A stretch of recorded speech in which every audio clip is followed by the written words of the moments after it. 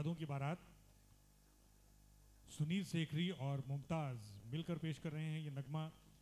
और अगर आप रमेश नौटियाल जी को भी एक अवार्ड हम दे रहे हैं का, कांचा जी के हाथों से आशीर्वाद। जोरदार तालियाँ